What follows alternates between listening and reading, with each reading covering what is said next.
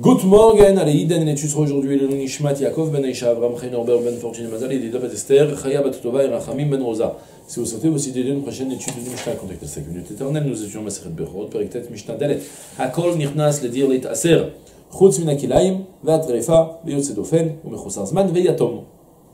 Eizeu Yatom, Kol Shemata Imo O Shenishchata. Rabbi Yoshua Omer, Afilo Nishchata Imo Ve'ashel Archayam, En Ze Yatom. Mishnah relativement simple à lire et traduire. Si on va creuser dans les psukim pour comprendre comment ça marche, ça va devenir un petit peu plus compliqué. On va d'abord traduire, comprendre un peu le principe. Eizeu, Akol Nichnas Ladir Leitaser. Tous les nouveaux-nés de l'année entrent dans le dans l'enclos pour se faire prélever, pour euh, prélever le dixième. C'est-à-dire, on est en train de parler du Maaser depuis le début du chapitre, Maaser Behema.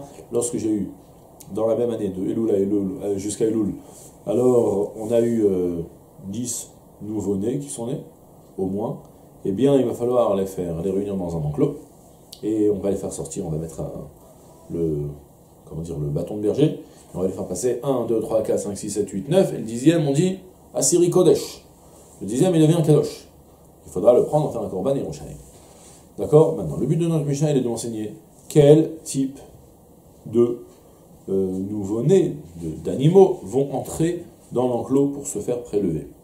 C'est-à-dire, on n'a qu'à directement attaquer la Mishnah, on va comprendre de quoi, de ça parle. Tout type d'animal entre dans l'enclos pour se faire prélever. Oui, on avait expliqué que les bovins à part et les ovins à part. Mais les ovins, ça implique les chèvres et les moutons. Les deux, ils se font prélever en même temps. Même si j'ai 5 moutons et 5 chèvres qui sont nés, je pourrais les prélever. À exclure toutefois, Minakil Haïm, s'il y a eu un croisement, et même un croisement entre un mouton et une chèvre, c'est exclu, je peux plus, il y rentre plus, il y a plus de, on le prélève plus, c'est plus une espèce imposée, autant que si j'ai eu des nouveaux chiens qui sont nés, je dois pas les prélever. Eh bien, même principe aussi, si j'ai eu aussi euh, des nouvelles espèces, et même si j'ai eu un kilaïm, un croisement donc de moutons et de chèvres. Inclure aussi, entre parenthèses, le Bartolano le rajoute, le nidmé. On l'avait déjà évoqué aussi, ça peut arriver des fois qu'il y ait euh, un mouton qui va mettre bas une chèvre. Je sais pas, ils en parlent dans la Gemara. J'imagine qu'il y avait des mutations génétiques, que ça pouvait encore exister. Donc voilà, c'est aussi un exclure aussi, c'est inclus dans Kilaïm, même si c'est deux, cho- deux, deux- deux choses différentes. Veat Trefa, aussi le Trefa, c'est le mouton qui n'est pas viable. Imaginez que par exemple, on voit qu'il a un défaut qui n'est pas viable, il lui manque une patte euh, à partir de, du- de la cheville, comme ce qu'on avait appris dans, dans Roulin. Ou encore, Veyotse Dofen, celui qui est né par la paroi, c'est-à-dire qui a eu accouchement par césarienne, pour les animaux. Il n'est pas sorti par la matrice, comme tous les animaux, donc il est sorti par le, par le ventre. Alors, il est aussi exclu de, de Maaser, il n'est pas imposable de Maaser. Ou Mechoussar Zman, aussi celui qui n'a pas encore eu passé les, le temps, c'est-à-dire les 8 jours. Après, on va ouvrir le passage qu'on va un petit peu mieux comprendre c'est quoi le Mechoussar Zman. On a qu'à le dire tout de suite, c'est la paracha qu'on lit dans les Chagim aussi. Shor Chesev, on l'a lu dans, on les morts. Shor Chesev Oez, ki valed, vaya shivatemun tachatimo, vayom hashemini val'a, yiratse le korban ishe Hachem, je crois que c'est celui passage qui me dit en tout cas que, que lorsqu'il y a un nouveau-né qui naît, pendant 7 jours on ne pourra pas leur faire un korban. Shivat yamim yetachatimo, il restera chez sa mère, sans pouvoir en faire un korban. Vayom hashemini val'a, et à partir du huitième jour et au-delà, alors Yeratse, il pourra être agréé en korban pour Hachem. Donc de là on apprend Mechosarzman, celui qui n'a pas encore passé le, temps, c'est-à-dire le temps requis par la Torah, les 8 jours, qui n'est pas, pas dans le huitième jour. Veyatom, c'est l'orphelin, et la suite de la Mishnah va m'expliquer c'est quoi l'orphelin. Pour moment, je fais un petit break, et j'explique un petit peu mieux ce qui se passe, parce que on inclut toute une, toute une série, c'est vrai, mais n'oubliez pas une chose, c'est que le premier mot de la Mishnah, c'est Hakol Nichnas, tout rentre dans le l'enclos pour se faire prélever.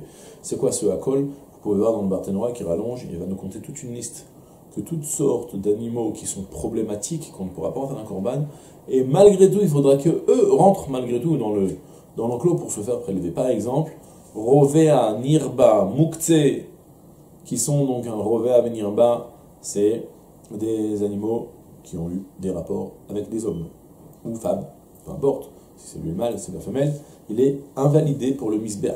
Si toutefois il y a eu un mouton qui est né comme ça, et que après ils ont fait ce qu'ils ont fait avec, même un goy qui le fait, c'est la même chose, eh bien il devient, il est invalidé pour en faire un korban.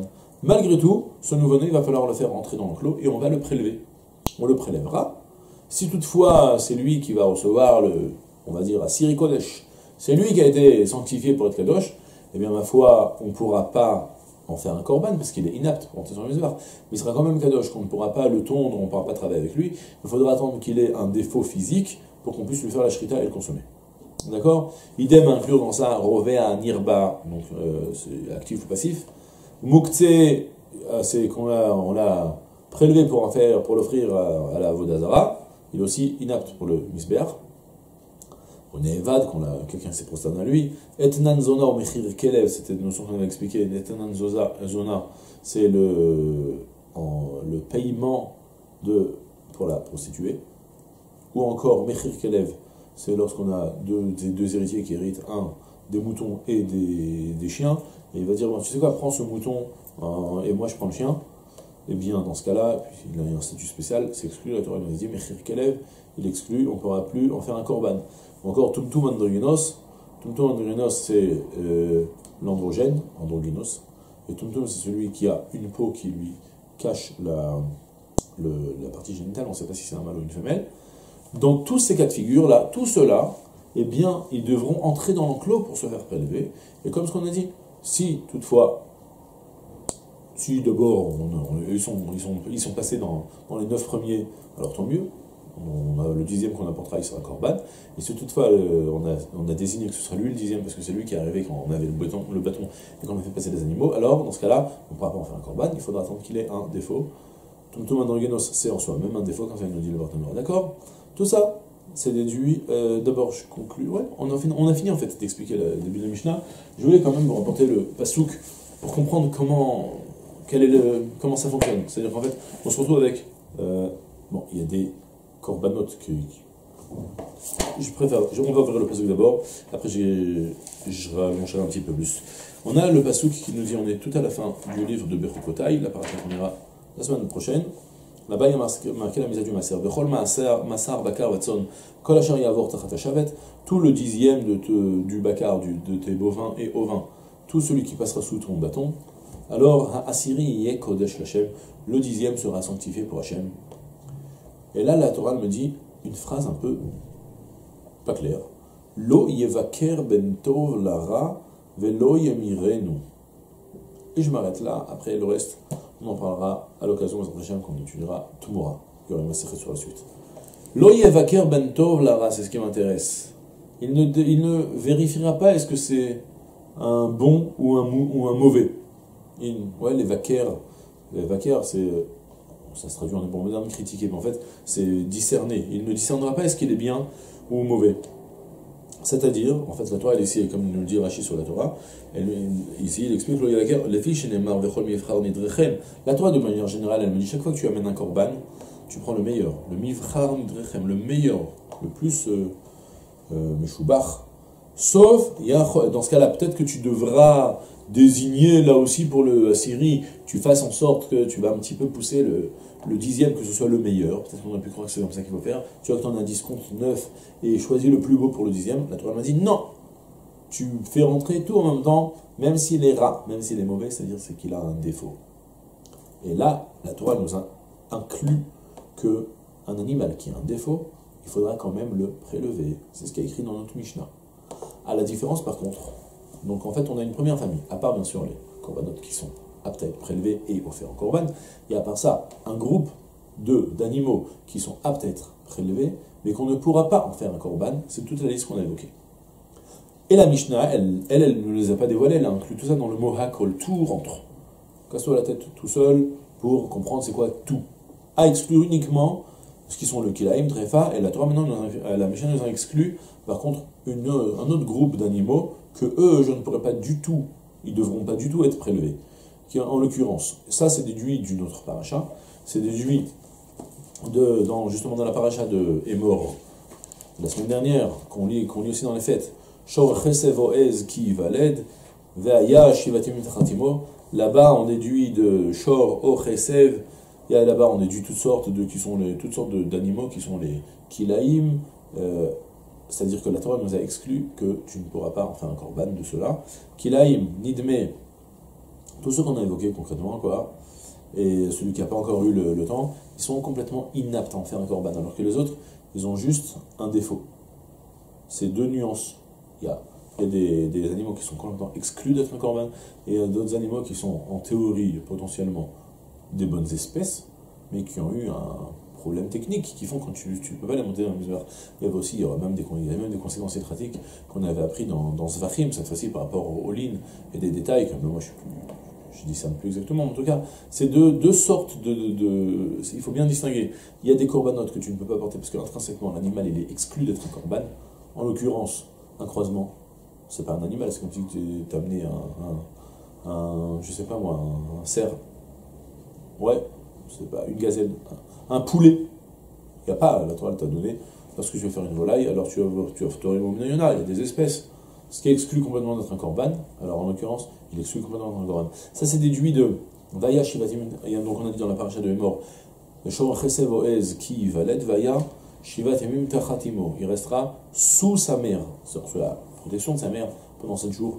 Le mot Tachat ici et le mot Tachat de Tachat Hashavet, Hashavet qui dit sur le Maser, ça vient dire Shava, on déduit que ce qui est complètement exclu d'être un corban, il n'est pas imposable de Maser, BMA mais ce qui est en théorie une bonne espèce, mais qui a eu un problème technique, lui, tu le feras rentrer. Euh, pour le, tu le feras rentrer dans le clos pour le prélever, et comme ce qu'on a expliqué, s'il y aura un problème technique, tu pourras pas en un corban, tu attendras qu'il ait un défaut pour, et, tu, le consommeras. La tréfa, il est exclu, encore, la tréfa, c'est encore une autre chose, parce que lui, c'était une bonne espèce initialement, mais qui a eu un problème technique, c'est qu'il a, il est devenu non viable. Alors ça, c'est déduit de Kol Asher Ya'avor Il faut qu'il soit capable de marcher et de passer sous le, euh, sous le, sous le bâton, berger, quand on compte. Or, la tréfa, une des tréfautes qu'on avait appris dans les tréfautes de, de, de, de alors une des tréfautes, c'est le fait d'avoir une, une patte cassée, le mal, depuis la cheville, d'accord? Là-bas, il y a, donc c'est une chose qui, qui, qui, qui, fait qu'il peut plus marcher. Et en fait, on apprend par euh, un peu, par extension, on va déduire aussi que toutes les tréfautes aussi, ils sont, euh, ils sont invalidés aussi, ils sont pas imposables de masser. Maintenant, on met le focus sur le dernier mot qui était le yatom, l'orphelin. C'est déduit du pasouk qu'il y a marqué dans Shor ce qui il restera sous sa mère. Donc on apprend là-bas qu'un korban, il doit avoir prat les yatom shemetaimok sheyaladato un yatom, un orphelin, que lorsque sa mère l'accouche, le méba, elle meurt sur place, alors, alors le, petit, il est, pas tout, il est, il est inapte à être un corban. C'est très original, il faut avoir une, faut pas faut pas naître orphelin pour être un corban. Et maintenant, la Mishnah va maintenant nous expliquer Eizehu yatom. C'est quoi le, le, yatom précisément?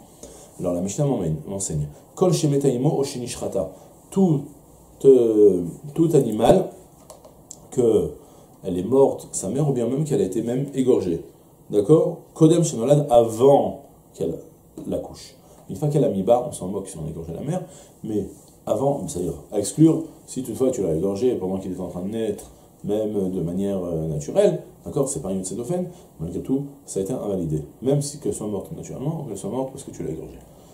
Maintenant, la Mishnah m'enseigne encore. Rabbi Oshua Omer, Rabbi Yoshua m'enseigne, imo kayam Lui, il a quelque chose de très particulier, Rabbi Yoshua, il me dit, tu sais, non, je suis pas d'accord avec toi. Même si tu égorges, c'est vrai qu'il exclut le yatom, mais si toutefois tu égorges la mère, mais que toute la peau de la mère est encore présente lorsque l'enfant va naître, ça s'appelle qu'il a déjà une maman. Quelque chose de très original.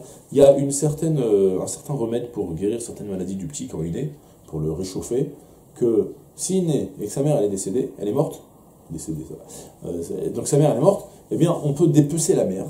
On va utiliser toute sa peau pour envelopper le bébé, le petit, euh, le petit veau ou le petit mouton qui est né.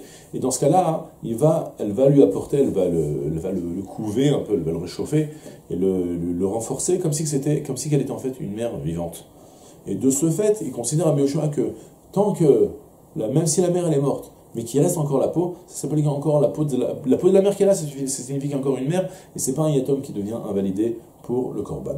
C'est tout pour aujourd'hui, je vous souhaite une journée pleine de Sarah Kol là.